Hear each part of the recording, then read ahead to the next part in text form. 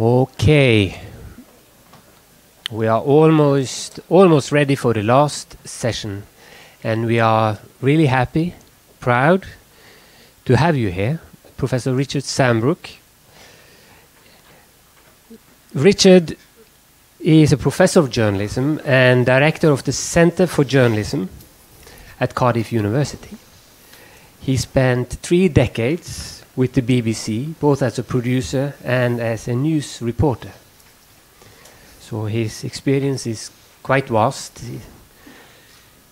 He has been publishing quite a lot. I was reading the list, quite impressive. And I think for this conference, uh, perhaps the most relevant ones are the one you published in 2016 on Panama Papers, the nuts and bolts for massive international investigation.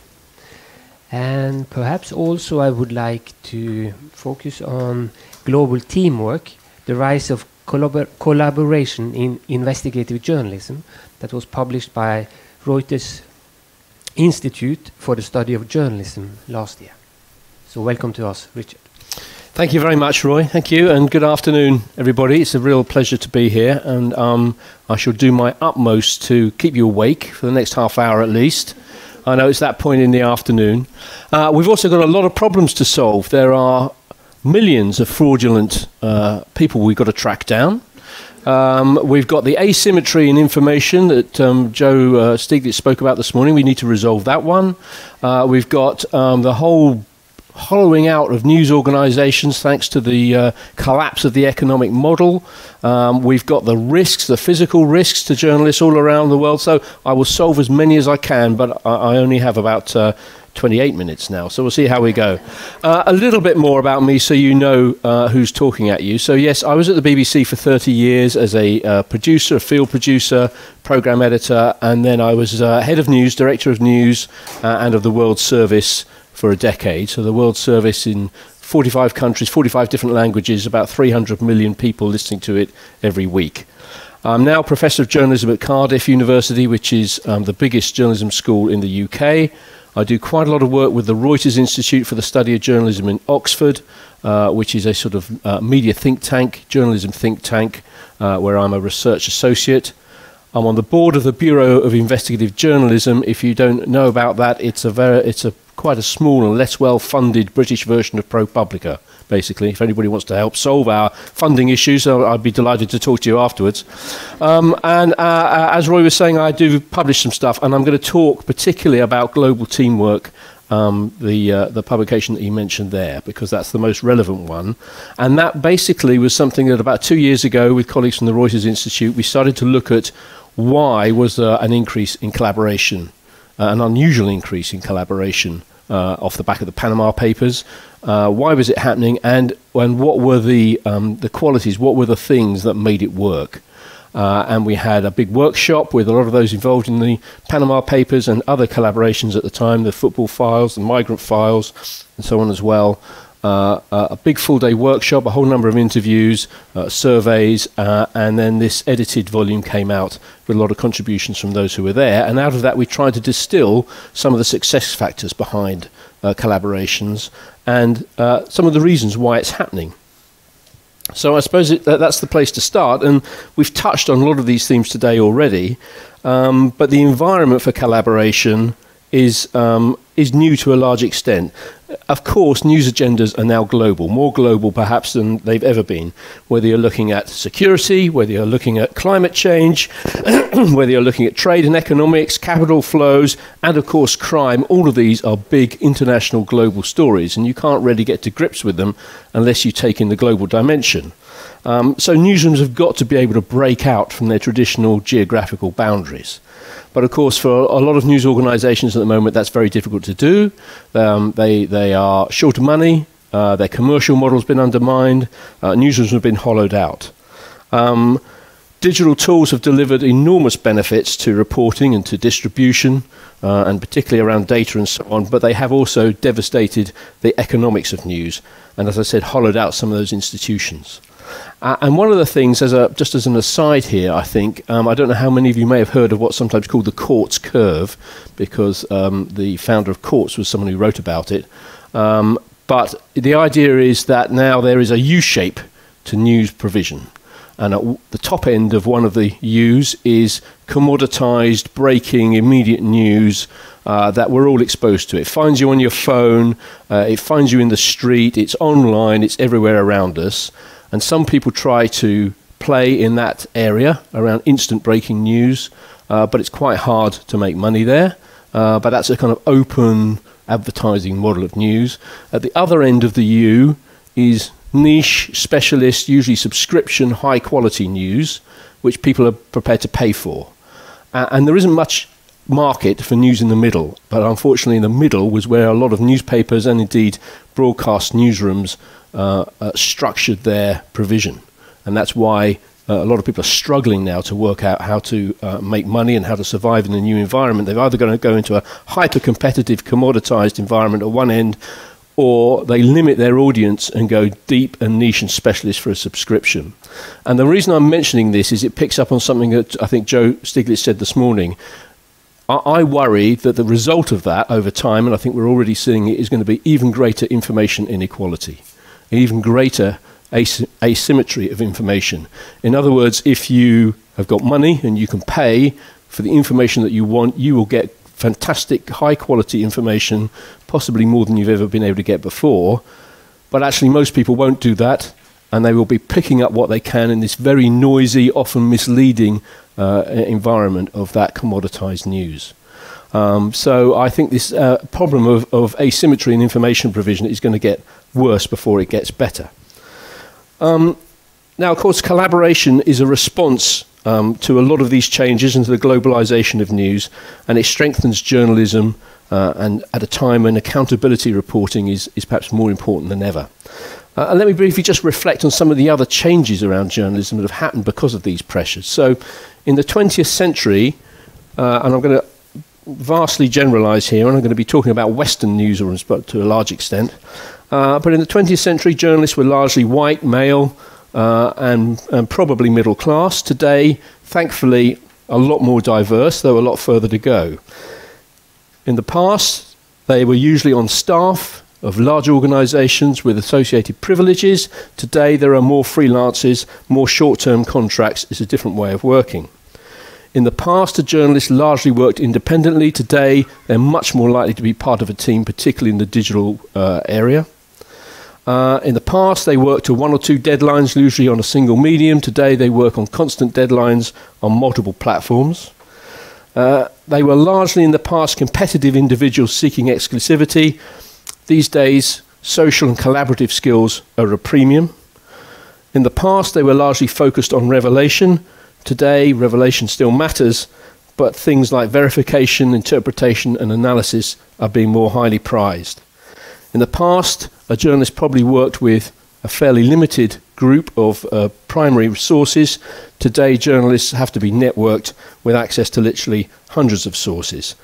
In the past, they could work with little transparency or accountability.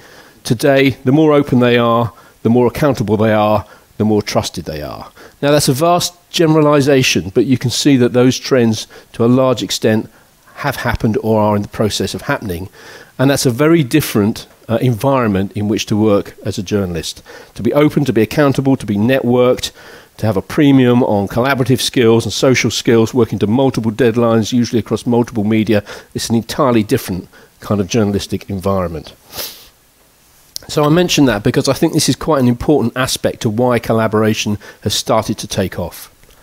Now, we've talked uh, uh, already today about um, uh, the risks and dangers around um, journalism. This was Times Person of the Year uh, last year, basically dead journalists. Um, there was Jamal Khashoggi, obviously on the left.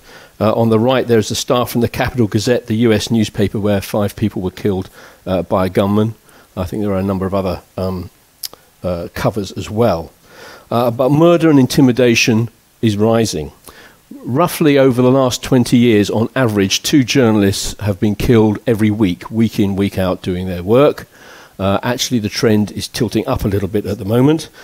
in 2018, out of the 53 deaths, 34, according to the CPJ, were retaliatory. In other words, people being murdered because of the reporting that they were doing.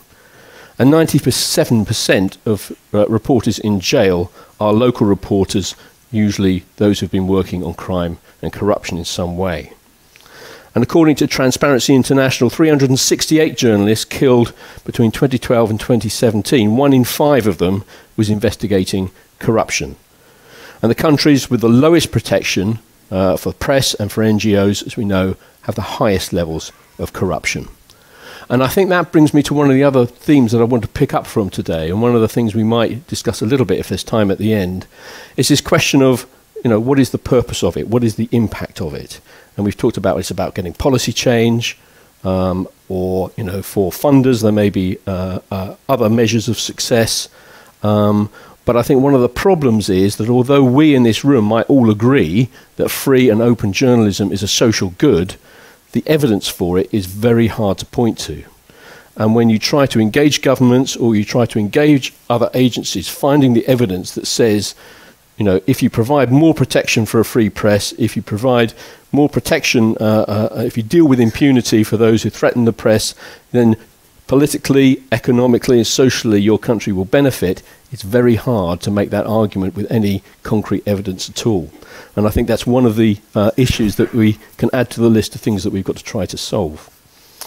Um, so, while there is at least some progress towards um, uh, freedom to information. This is uh, uh, an infographic from Article 19, the Global Free Speech NGO. And actually, the headlines here are not bad. 90% of the world's population uh, lives in a country with a, a, an RTI law or policy. 75 countries have joined the Open Government Partnership with a commitment to opening up data. Um, you can see the other statistics there. There is a headline picture there, and it's driven largely by the Sustainable Development Goals, where this has been made a, a priority and a focus from the UN. Uh, a headline there that's quite optimistic. But I think most of us know that underneath that, that headline, underneath that crust, actually things are not quite as rosy as they appear. Um, we know that commitment is weak in many countries. So even those in the Open Government Partnership, a lot of them are paying lip service to open data and they're not actually providing it, or they're providing it in a way that's almost impossible to analyze, um, or you know there are other problems with what they're doing. So it's lip service is one thing, delivering is something else. We know that press freedom protections are weak in many uh, parts of the world. Um, we, knew, we know that there's misuse of privacy legislation, misuse of terrorism legislation in order to um, uh, try to intimidate journalists or to try to um, uh, uh, prevent uh, uh, some journalism. Um, FOI laws also exclude the private sector. Yet increasingly, in many countries, the private sector is performing functions uh, pre previously performed in the public sector. So, you know, there's a big loophole there that uh, is not yet being caught. We know that we live in a surveillance state, and certainly uh, uh, for those who know anybody who's involved in the Snowden investigations, for example, the kind of surveillance and anti surveillance um, uh, measures that those involved in that story had to take were really considerable and really quite complicated. Uh, and just to pick up on the conversation here, one of the difficulties we have as well is defining the public interest. And, you know, academics and professors like me can give you a definition of the public interest. Some lawyers will come up with a definition of the public interest. In British law, there is no really hard to find definition of the public interest, and that's true in many other countries as well. So, as journalists, we can say we can justify a lot of our actions because it's in the public interest. But of course, in a lot of countries, they wouldn't recognize that, they wouldn't accept that. There's no uh, uh, a broadly accepted definition of what that means. So, underneath this, this sort of headline that actually says things are moving in the right direction in terms of access to information, open data, and so on, we know there are still a lot of very difficult and knotty issues that we're having to deal with. And of course, as well, the political hostility to journalism, driven from Trump and others, and the consequent risk of self censorship, both of which you talked about. So, uh, this book that I did, it's only there because I couldn't find a different picture to put up. I'm not trying to promote it, though. If you want it, it's a free download from the Reuters Institute site. Um, we tried to look at you know, what was happening and, and what were the success measures. Um, and I think the point was that collaboration is able to mitigate not all, but some of those problems. So for those newsrooms that have been hollowed out, you're able to pool resources and, and particularly pool expertise. So one news partner may well have uh, you know, a specialist journalist in one particular area, and another partner may have a technologist who's particularly good at data wrangling around a particular area. Neither of those organizations has exactly what they need to deal with a particular leak, but together they can. They can pool resources, they can pool expertise. That's an obvious one. Uh, another advantage is institutional strength. So if you're the New York Times or the BBC or Reuters, it's okay because if somebody comes at you with their lawyers, you can probably muster up the lawyers to uh, to fight them off or to do whatever you need to do. If you're a small digital startup or you're a non-profit, if you're the ICIJ or Bureau of Investigative Journalism or whatever else, and someone comes at you with lawyers, you've got a really big problem, let alone if you're a freelance journalist on their own. But networking in with big organizations, of course, gives you an institutional strength that you wouldn't otherwise have. So collaboration certainly helps with that in terms of in, you know, fighting off intimidation or being able to resist intimidation. Um, there are other legal uh, uh, advantages as well. There's um, legal arbitrage, as it were. So you can use the laws in one country uh, uh, in order to avoid legal risks in another. So, for example, The Guardian, again over Snowden, made sure it kept its files in New York, where they had some First Amendment protection that they wouldn't have had in the UK. Uh, and um, you know, countries at the moment haven't really managed to catch up with how people are able to use jurisdictions in that way in order to play them off against each other and to protect themselves. So there's legal arbitrage in that sense. There's also the question that actually, in terms of those people who do want to intimidate journalists if they're going uh, after a controversial investigation, if you know that even if you intimidate that journalist in that country, let alone if you were to kill them, it's going to appear over there in that country, or and in that country and in that country, then actually suddenly the stakes are raised and it's probably not worth the risk or the effort. So there's a protection again in being networked in that way in terms of the pure physical intimidation and risk. Some of the success factors I'll, I'll, I'll, run through. There's just four or five headline ones from there. So obviously, when we looked at a whole range of uh, collaborative projects, Panama Papers and the Paradise Papers primarily, but also a number of others throughout Europe, and these were primarily Europe and American. We didn't we didn't go uh, beyond that for this. Um, some of the sort of big headlines that struck out were obviously how do you build trust and how do you maintain confidentiality amongst different partners. So uh, on the Panama Papers, for example, there were something like someone here will know the exact figure 400 journalists who had access to some part of that material for a year and it didn't leak. So, how was that achieved? Well, it's about building the relationship. Actually, in some of these cases, there are NDAs or there are contracts but in the end, it's about a handshake. And in the end, it's about building a relationship. As somebody said, you cannot codify relationships. And that's why you have a number of little groups of news organizations who routinely and frequently work together. Uh, because they built up the relationship and they've built up the trust. So, trust building and confidentiality and putting investment into face to face understanding of each other makes a big difference to making it work. And in the end, if you trust someone, confidentiality can hold. Uh, success measures, agreeing success measures with funders, we've already touched on that, particularly if it's uh, an NGO uh, or if it's the Gates Foundation.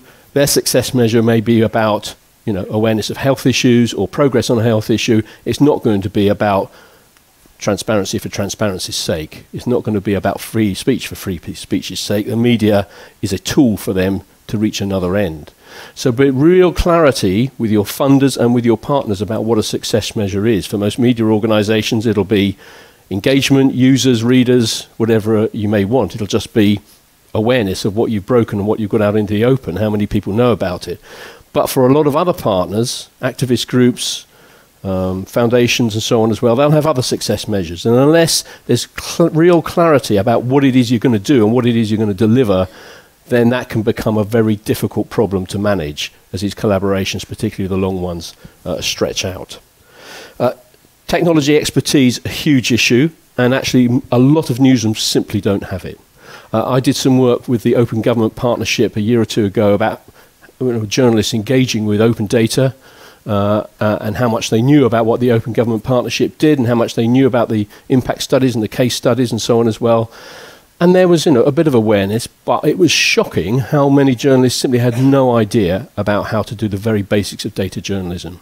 they, you know, in, when asked how they would like the data released, um, more of them said, oh, I'll have it as a PDF, please, and have it as a spreadsheet that they can actually manage. They simply didn't understand it. Now, that's the very basic level. Then, when you get into encryption, you get into kind of communication channels that you have to have, it gets more and more complicated. So, that technology expertise, which on the big um, uh, investigations is what the ICIJ really brought to the party, uh, is a really, really uh, important factor, and particularly in terms of maintaining anonymity and confidentiality.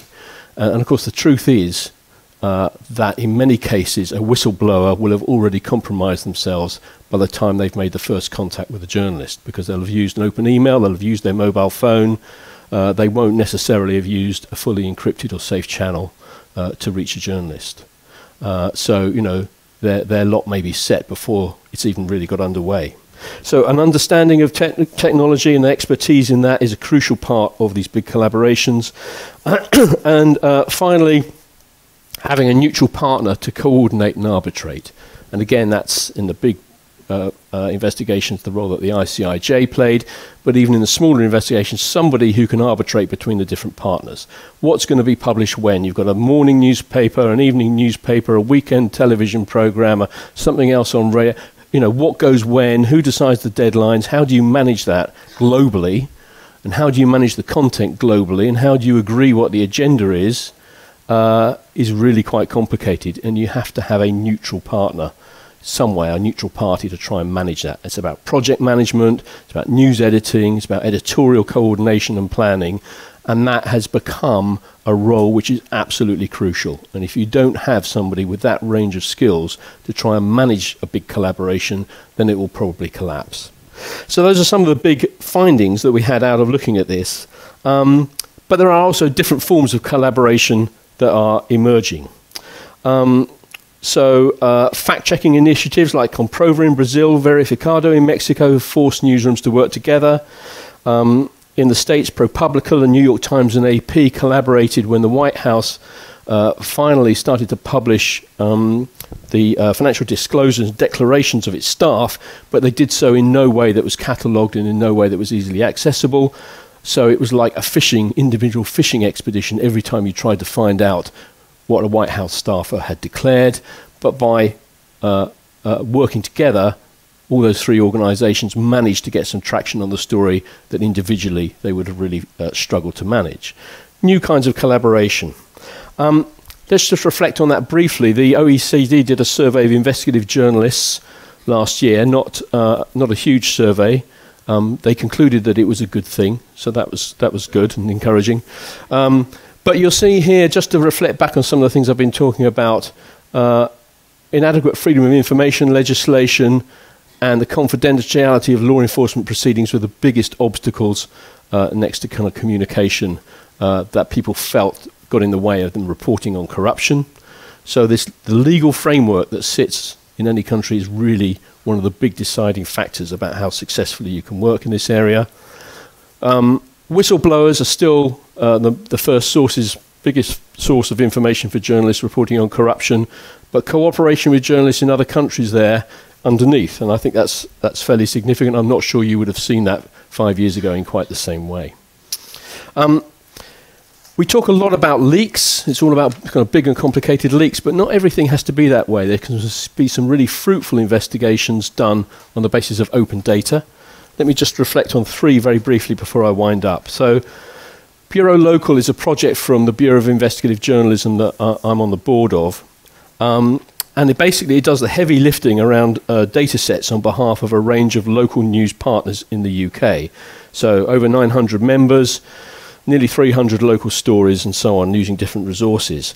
Um, it's broken more than 30 exclusives, including an investigation into local authority finances, which revealed that half of the councils in England planned to cut children's services, that they were selling off public assets and public spaces in order to uh, make up for budget shortfalls. Uh, it's also done a, a, huge amount of work on homelessness in Britain, which is now uh, uh, uh growing uh, exponentially. So basically they have the expertise, the data expertise centrally, some of the investigative expertise centrally, and they partner with local news outlets and they provide the local um, uh, uh, lens through which to look at it, a bit of local reporting to put onto it. So, and all done on open data. Um, but it's having some real uh, impact in the UK. Another example, a global example, some of you will have seen this one, um, where BBC Africa uh, investigated the killing of women and children in Cameroon, and they used open source technology and human networks in Africa, uh, combined with tools like Google Earth and so on, to pinpoint where the atrocity took place and to um, uh, finger the probable culprits. Um, uh, and the, uh, the Cameroon government was forced to admit uh, in the end that this had taken place. And uh, as an initiative, it was basically on Twitter, but then there was a video that followed up uh, as won a number of awards.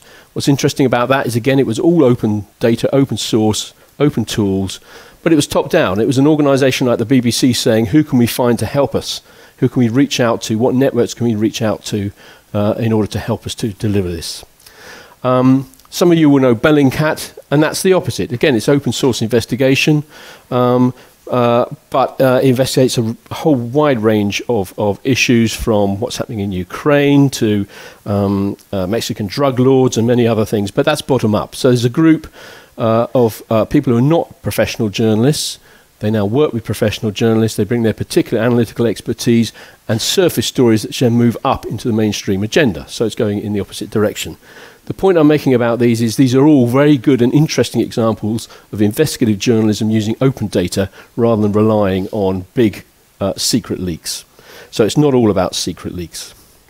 So, just to pull it together, then, uh, finally, um, collaboration has been a part of journalism's history since the 19th century, but the technology that we have now uh, is redefining communications and means there are a lot of new opportunities for this kind of cooperation. Uh, news organisations have got to raise their sights beyond national boundaries, raise their skills to engage with uh, highly developed systems of financial technology or internet enabled crime. Um, and the overall concept of public accountability uh, cannot and should not be narrowly confined by mere geographic or organisational boundaries. And importantly, journalists can no longer go it alone for all the reasons we've been discussing today.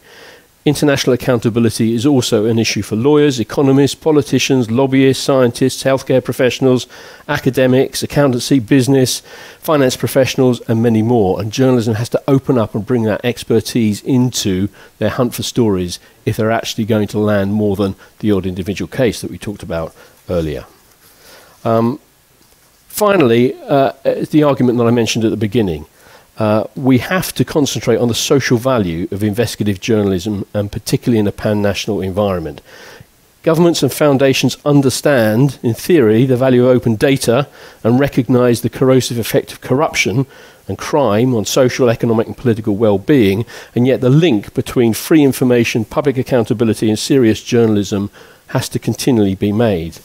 Um, the American academic James Hamilton said in his book Democracy's Detectives that $1 spent in investigative journalism can yield hundreds of dollars in social benefits. He asserted that. I'm not quite sure how he calculated it, but I would love to find out because it's a very useful statistic if it's true. Uh, but we need to find a few more to back that up and in order to make the case. But open collaboration uh, uh, across news organisations, across countries, across specialisms is a way that I think we can make progress through some of these challenges that we currently face. I'll just finish on this quote from Frederik Obermaier from Süddeutsche Zeitung, who helped break um, uh, the Panama Papers. I learned the more you share, the more radically you share, the better the investigation. Uh, without sharing, these projects are not possible. And the more transparent the projects are, the better it is. Everybody benefited. That's it. Thank you very much.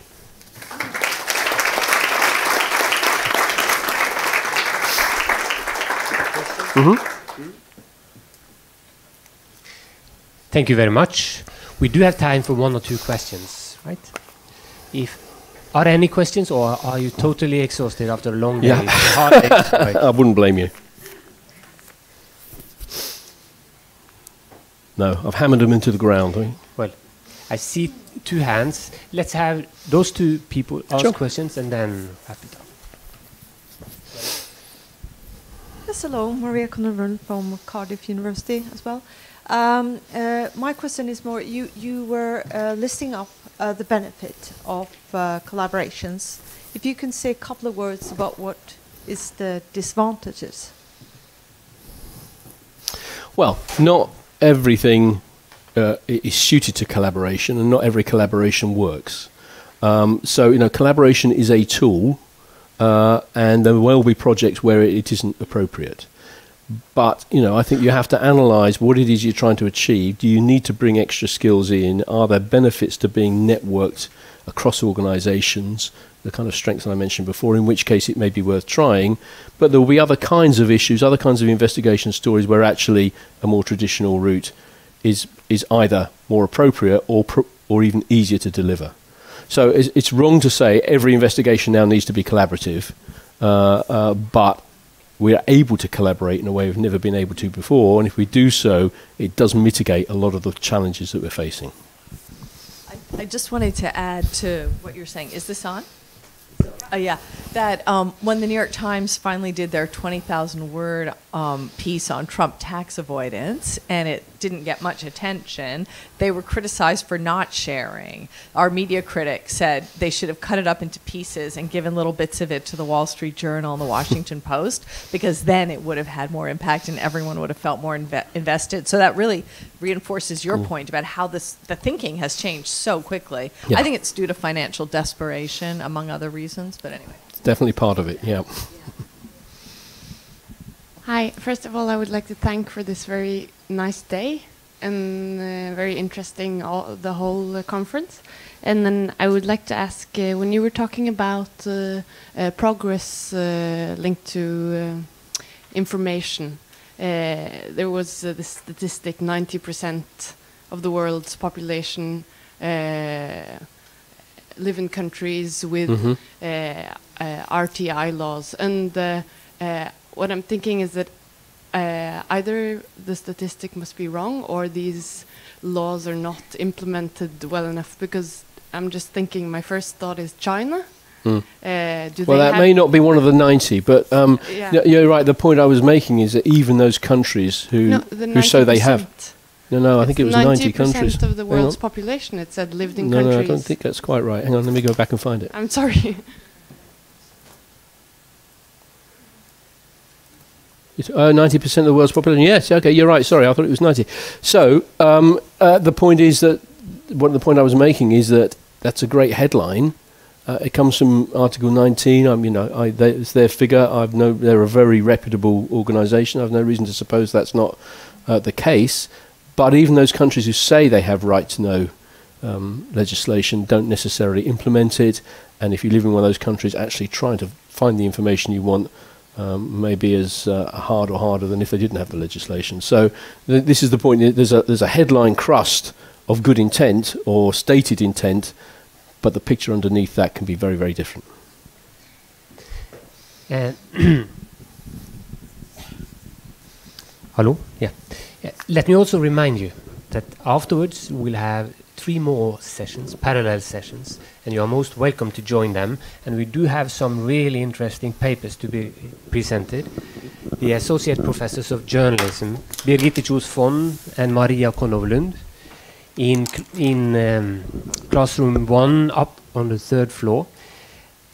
Um, in classroom two, we will have senior researcher Aslak Orre and Professor Emeritus Helge Rønning.